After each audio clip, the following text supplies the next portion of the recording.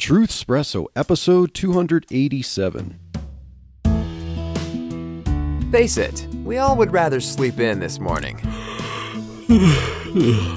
That's why God gave us espresso to kickstart our zombified corpses into hyperdrive. And now, giving your mind and soul the morning shot of truth it craves.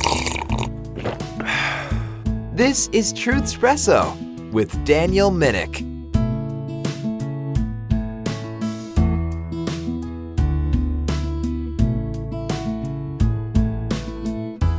Hello there, friends, family, foes, and lurkers alike. This is your host, Daniel Minnick, and I'm going solo again in this episode. My sweet, beautiful wife and co host, Chelsea, is up in the mountains again, helping out uh, women, contracting with a pregnancy center up there once a month. And so this is the weekend in which she does that. And so it's another tiring weekend for her and it's another weekend for me to try to get some things done around the house.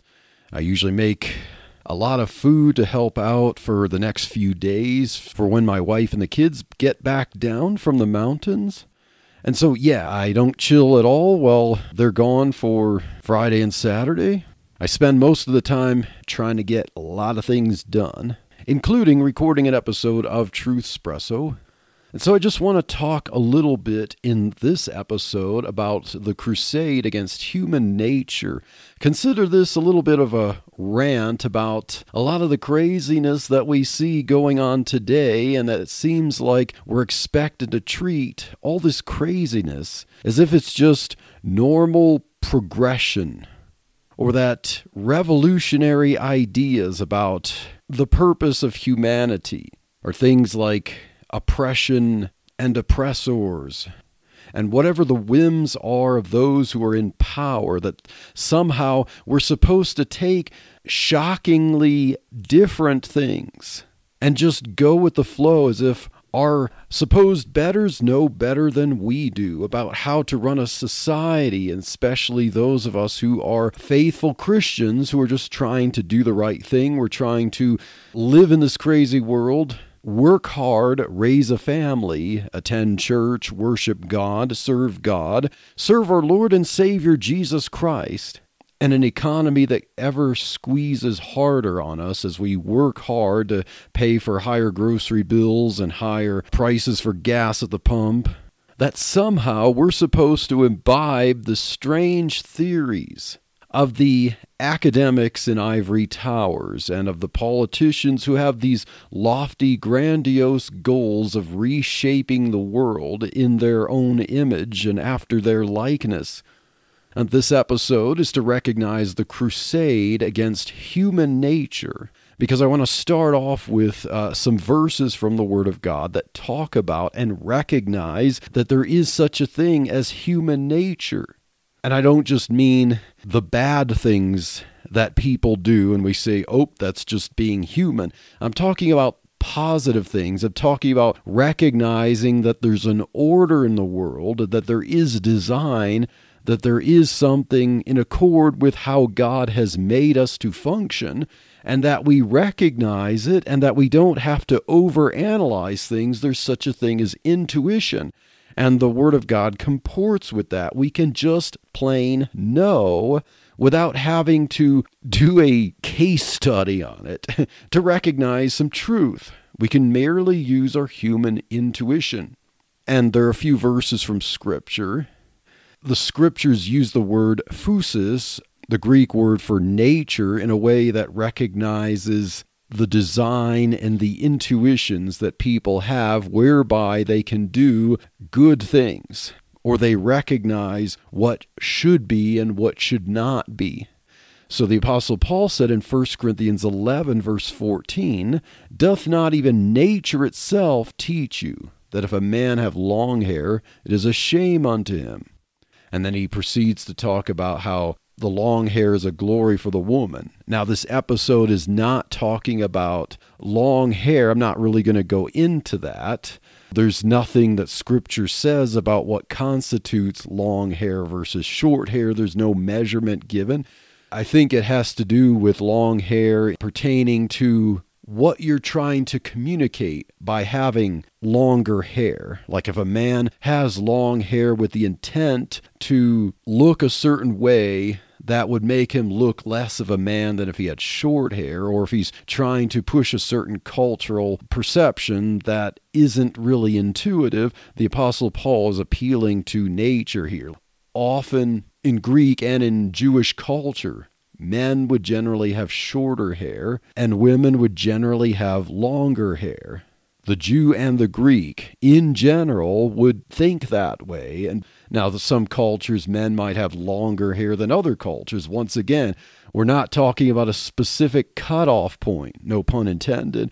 We're talking about just what are you communicating and what does the intuitive mind recognize between short hair and long hair by identity and category. And the point that I'm trying to get at is the Apostle Paul's use of nature teaching you. Now, it doesn't mean observing nature by looking at rocks and trees and streams and mountains, nor is he talking about looking at animals and getting example from them. Of course, there is nothing from nature in that sense that we could even glean the idea of short hair on men and longer hair on women. He's saying that nature just us being humans and going according to human intuition, we recognize that there's such a thing as a distinction between men and women, and there are things that, in general, we would prefer to see more often in men and more often attributed to women. There is this distinction, and its nature and its intuition. The the Word of God recognizes this concept that there's such a thing as human nature that can teach us things or that we can see, well, duh, human nature says this, so why would we try to oppose human nature? The apostle Paul also says in Romans 2:14, for when the Gentiles which have not the law do by nature the things contained in the law, these having not the law are a law unto themselves now, he's talking about the pagan Gentiles, and he's talking about the fact that they had not the law, the written law, the oracles of God that he says in, in Romans chapter 3, the next chapter. The, later on in Romans chapter 2, he's saying the Jews rest in the law and they claim to obey the law, but, you know, they might violate things that they claim to obey and stuff. But the point is, he's saying the Gentiles, the pagan Gentiles, they did not have this special revelation from God, but they had the general revelation. So even though they didn't have the oracles of God given to them on the stone tablets or written by the prophets, they do by nature the things contained in the law, such that even pagan Gentiles would still have law codes that would have punishments for things like stealing and lying and adultery and murder. Now, there could be corruption in high places, and people would be legally allowed to get away with stuff like that if they had power, but generally, no one claimed that the law code was supposed to be in such a way that anyone had a right to do these things. They recognized by nature by human intuition that you don't do things like steal and kill and destroy and that harming someone else, that there's some concept of the general equity of humanity and that laws against stealing and murdering and lying and adultery and stuff like that are necessary and right. So, nature, intuition teaches us that's human nature the Apostle Paul recognizes this human nature that leads people to recognize certain truths. And then we have Romans chapter 1, the previous chapter, where Paul talks about nature and people doing things against nature. So, Romans chapter 1, verses 24 through 27, the Apostle Paul says, Wherefore God also gave them up to uncleanness through the lusts of their own hearts, to dishonor their own bodies between themselves, who changed the truth of God into a lie, and worshipped and served the creature more than the Creator, who is blessed forever. Amen. For this cause God gave them up unto vile affections, for even their women did change the natural use into that which is against nature And likewise also the men, leaving the natural use of the woman, burned in their lust one toward another, men with men working that which is unseemly, and receiving in themselves that recompense of their error which was meet. Now, I'm not going to go into detail about what he's talking about here, but the natural, the intuition, the human nature recognition. We all know intuitively that the design of humanity, according to even how God designed our bodies and how biology works, is that we're supposed to recognize the order and design that you have a man and a woman and they get married and they produce children that could be boys or girls and they grow up to be men and women and they likewise find a spouse, a man with a woman and a woman with a man and they get married and they'll have children and so on. And that the apostle Paul says that God gives up some people who because they become idolaters and they worship the creation over the creator. They know that God is the creator, but they want to lift themselves up and they think they're wise, but they become fools. And so, since they're not retaining the knowledge of God and they want to deify themselves, they want to treat creation itself as an end unto itself and not honor the creator that therefore God can give them up and let them go to their base desires, to their vile affections, and they can take them to the extremes and they will go against nature, as the Apostle Paul says. That the women changed the natural use, which is against nature, and the men leaving the natural use of the woman and so on. So there's such a thing as human nature and the way human nature is supposed to work. But we have a culture today, especially from the top down, especially ideas coming from elites and politicians and academians who they don't want to accept the fact that there's such a thing as human nature by design. There are some things that we should be able to simply take for granted that God has designed and that works and that's necessary for flourishing.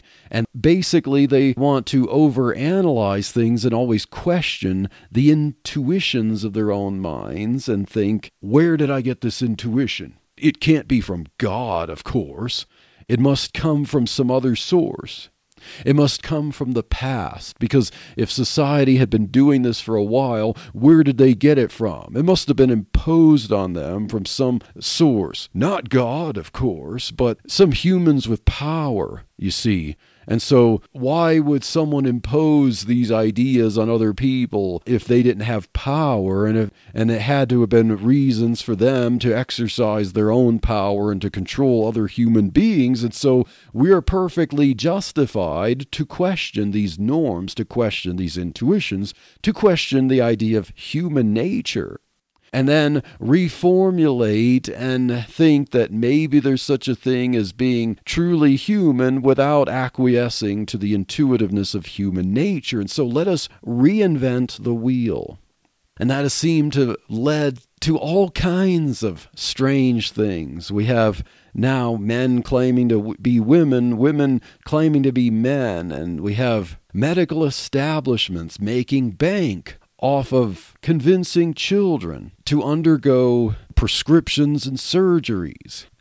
And somehow this is a righteous cause for them. While they make lots of money in the process and and heaven help those children if they somehow come to grips with what they have allowed happen to them or even have been pressured into doing.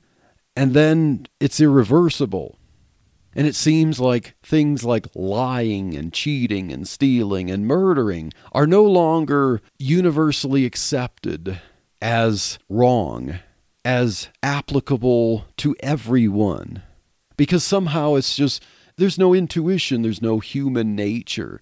There's only some humans with power imposing ideas on other humans to subjugate them. So somehow we have to liberate humanity from past ideas even though we all recognize that things like don't kill, don't lie, don't steal, don't commit adultery are just plain true, we can rationalize them, we can think through just why they're true. but we don't have to rationalize and wonder if they're true. We know that they're true. That's the human nature. That's the imago Dei. That's the image of God that God has created us to recognize. And it seems like in the news you have all kinds of, like every day, we seem to be shocked at just how strange people will act, especially those with influence. Now, you know, you have the most popular candidate for president running, and he's giving a speech, and then he says something about if he's not elected, there could be a bloodbath. And anyone can listen to what he had said in context and know exactly what he's talking about. And so the intuitive, the human nature thing, recognizing what an honest person would assess from that, should say, but then you have politicians, you have pundits on news channels trying to take it out of context, ignoring it, and even saying that the American people are not stupid. They know what he meant when, yeah, if we listen to it, we know exactly what he meant, and it's not what you're trying to portray. And it's obvious to us when we look at that and we see that they're trying to twist things. And it's like, I just want to say, look, if you guys know what the truth is, then be honest. What is your game here? Intuitively, according to the human nature that God gave you, just be honest. But no, it's time to lie. It's time to cheat. It's time to twist things with abandon and with absolute impunity. Why? Because the only thing that matters is power and control and not even being honest with words. We have things like a squatter in a New York house, and there's a, a woman who inherited this house that's worth about a million dollars from her parents who had passed away, and she was in the process of selling it. And then there's a man who was squatting in the house and she found out about it and she's trying to get the man ejected from the house because she's the legal owner with the title and she's even trying to sell it and hadn't secured uh, any kind of sale yet. But then she gets arrested for changing the locks on it. Why? Because of some strange squatter laws that because the man claimed that he had a bills from work he was going to do doing on the house when you know for sure he fabricated that just so he can take advantage of the squatter laws because he was obviously doing that with what he was saying to the reporter there. This is what the law is. She's got to take me to court and so on and I have the 30 days and so I'm going to use whatever it takes to exploit the laws. That's basically what he was saying. Now we know and of course, the police end up cuffing the woman, the, the real owner of the home, and arresting her because she dared change the locks in her house. I mean, what if she thought this man was threatening her? Like, we recognize that even the Bible talks about property rights. It says, Thou shalt not steal. It also says, Thou shalt not bear false witness against thy neighbor, which this man was obviously doing. And it also says, Thou shalt not covet thy neighbor's house. And no one reading these verses could dispute the plain obviousness of such truth. It's just plain profound truth. And a society can't function unless we recognize that that is truth, and we all know that it is by intuition.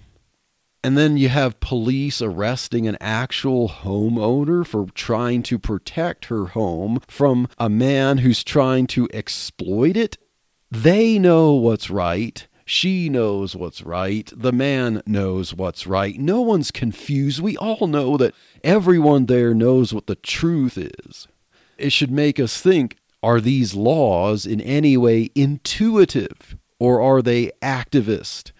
Are they trying to promote something that isn't human nature for a specific purpose to advantage some people against others rather than having laws that reflect the intuitiveness, the general equity of God's laws according to human nature that we all recognize? And we have that uh, scene. I don't know if you've seen the video about the Texas National Guard trying to, uh, they're preparing for migrants that are just breaking through the razor wire on the wall there, and they're legally helpless to try to do anything to prevent them. They can't defend anything. If they so much as lift a finger against them, then they would get in trouble. But we know this is ridiculous because the Bible does recognize property and boundaries. Just like you wouldn't want someone breaking through your door into your house, it's the same with a country. You have your house. You don't want anyone breaking into your house. And if you live in a village or a community, you don't want anyone breaking into that who's unauthorized and trying to exploit other people's property. You don't want anyone breaking into a city. You don't want anyone breaking across the border of a country. If they're taking things, that's not intuitive. That is not human nature, but we're being forced to accept the idea that what we intuitively recognize by design as human nature, that somehow we have to question that. And the Bible says in Hosea 5:10, the princes of Judah were like them that remove the bound or remove the border. Therefore I will pour out my wrath upon them like water. So the princes of Judah, so we have even in the Bible this idea that the government, the princes of the tribe of Judah there were trying to remove or change the boundaries, the borders. And don't we see that today? The Bible recognizes it, and we all recognize truth here. But we have to pretend that what we know is truth is not truth. For the ideas of the world, for those who recognize the design of human nature and that the laws of God are simple and necessary for a thriving and prosperous society, God's laws are not hard to follow if you're a God fearing person, if you're a Christian who believes the gospel, and you're just living your life in your family, trying to take care of your family, trying to work hard to put food on the table and raise your children up uh, to be good ad- adults and citizens and so on laws that you like you see in the 10 commandments thou shalt not kill thou shalt not commit adultery thou shalt not steal thou shalt not bear false witness against thy neighbor and thou shalt not covet are not grievous and the apostle John says in 1 John 5 3, For this is the love of God that we keep his commandments, and his commandments are not grievous. There's nothing grievous for someone who's not trying to aggress against anyone, who doesn't have this imposed, deconstructed idea of Marxism or, or, social Marxism or the idea that we always have to look for the oppressors and the oppressed and try to revolutionize anything that would be intuitive general equity. It doesn't matter who kills whom if it's not self defense, if it's just premeditated murder, we all intuitively recognize that it's wrong. If someone is violating the property rights of someone else, we deep down inside we recognize the intuitiveness and the human nature that that's wrong. It doesn't matter how much someone wants the property of another person we realize that, hey, if you want property, you either have to work for it or if you're in desperate need, someone would be charitable enough to give it to you. But no one has a legal claim to take something from someone else. We intuitively recognize that. How is your flame of truth, Christian? Is it burning bright? Hi, I'm Rebecca Berschwinger, creator and host of One Little Candle, a weekly podcast dedicated to encouraging, empowering, and equipping believers to be the light that God has called us to be, so that we may pass down undefiled the truth of God's infallible word to the next generation. So join me and light your own little corner of the world. You can listen to One Little Candle on all major podcast platforms or at ChristianPodcastCommunity.org. Human nature as being created in the image of God, recognizes good and evil. We recognize it intuitively. But we also recognize that because of the fall, we have the draw toward following base desires. And the powers that be want to direct people to follow their base desires over their intuitive recognition of human nature which comports with the laws of God, the simple intuitive laws, such as don't kill or steal or lie or commit adultery or covet. We know thou shalt not kill is true and just, but we can face the temptation to think about harming someone who has said something we don't like. I'm sure most people have felt like someone said something hurtful we might picture in our mind oh, the idea of just wanting to like slap or or punch or like you know you just you you picture that in your mind even though your intuitive human nature and sense of justice would say that you don't do those things so you have the effect of the fall on us with base desires, but you also still have the image of God and the recognition of the intuitiveness of the human nature of the laws that God has designed. We know Thou shalt not commit adultery is true and just, but we can face the temptation to consider the immediate gratification of a self centered licentious lifestyle.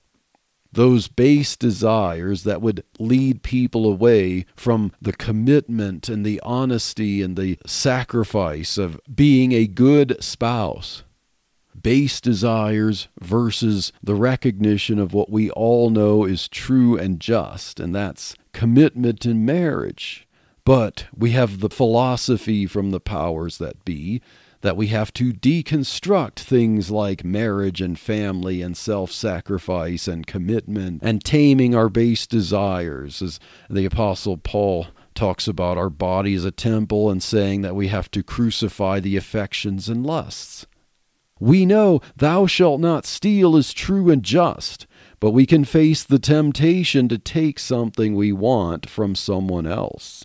In fact, we may even try to rationalize in our own heads well, hey, Bob here is well off and I'm not. It's not fair. In fact, he doesn't appreciate this thing as much as I would. Why shouldn't I have it and he not? He doesn't deserve it. I'm sure we've all thought that, at the very least, as we were kids and having to learn to mature. But believe you me, plenty of adults will still struggle with that, will struggle with jealousy and envy towards other people who have things that we don't. But we recognize, Thou shalt not steal, is true and just.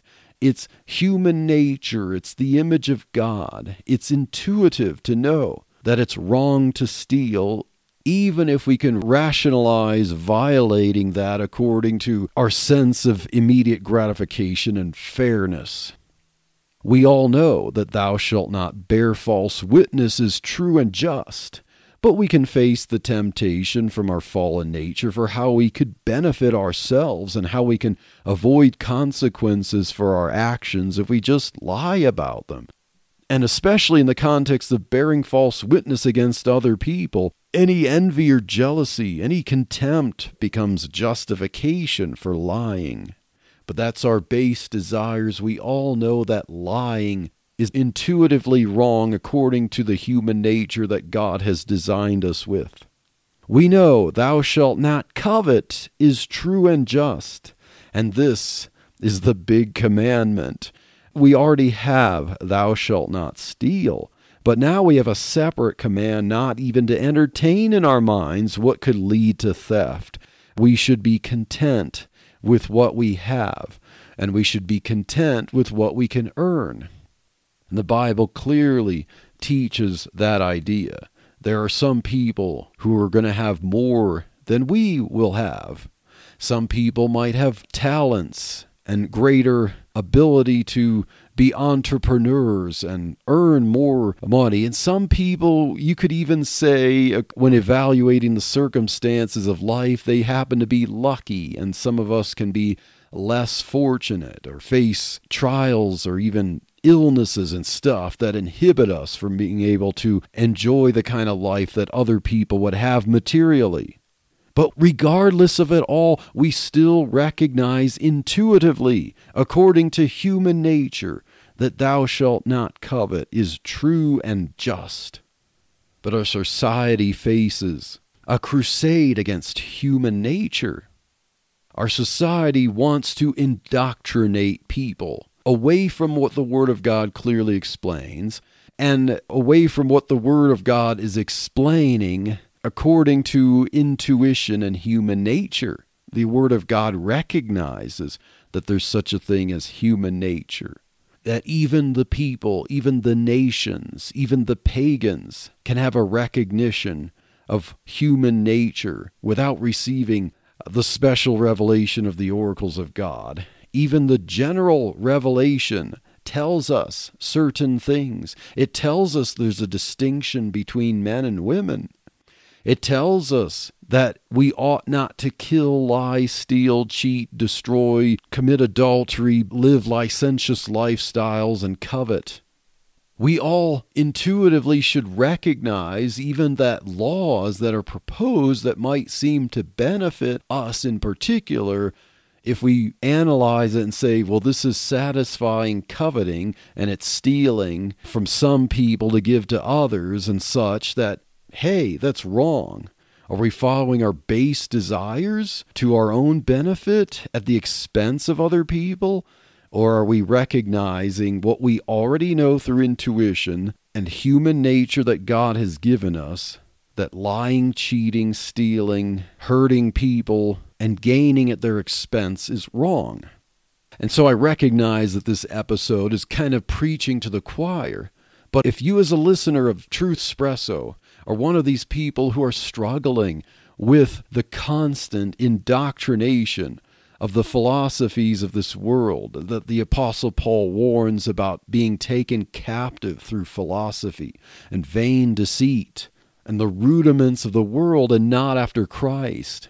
If you're struggling with I mean, somehow I know that certain things are true, but these arguments that, you know, we've got to look for helping the oppressed, you know, even going against the intuition about what's just, but hey, the biggest thing is to help the oppressed and stuff.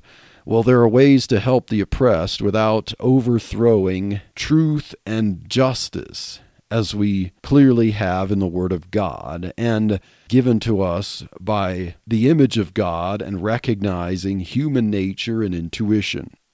But just think of the gospel of Jesus Christ and how it crushes all the philosophies of the world. Jesus Christ, who was rich but for our sakes became poor, according to Hebrews. Not that he wanted some kind of government to redistribute wealth or such, but he willingly, voluntarily, of what he possessed by right, the riches of heaven, became incarnate for our sakes. He wasn't looking for benefiting himself at the expense of others. No, he gave up what he rightfully possessed for the divine mission of being the atoning sacrifice, to pay for the sins of those who would believe, to purify for himself a people zealous for good deeds. Yes, the gospel of Jesus Christ crushes all the philosophies of this world, and of course, that's one reason why the powers that be, with their philosophies, despise the truth of Christianity.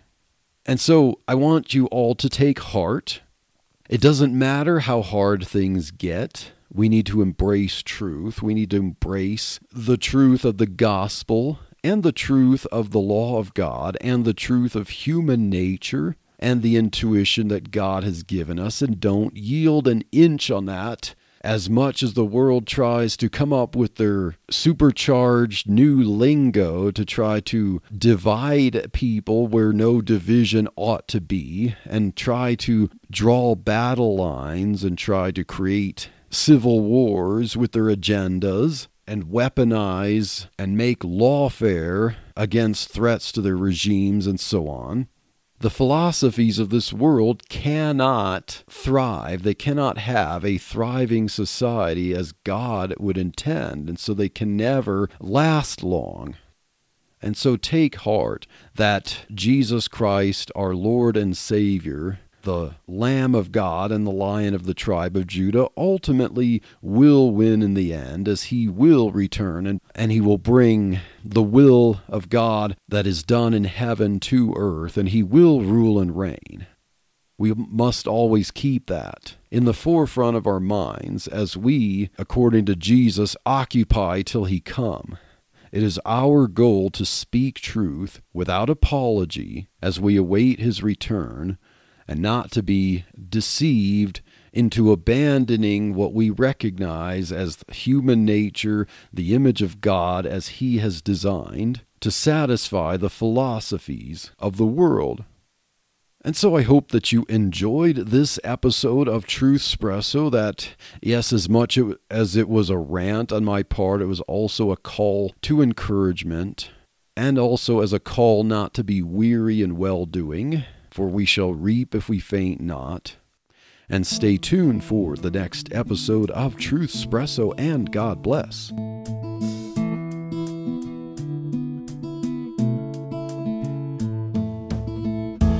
Thank you for waking up with Truthspresso. Good morning, and God bless your day. Hey, friends, Daniel Minnick here again. If you liked waking up to this episode of Truthspresso, I would really appreciate it if you would rate it on Apple Podcasts, Stitcher, or whatever application you use to listen to Truthspresso.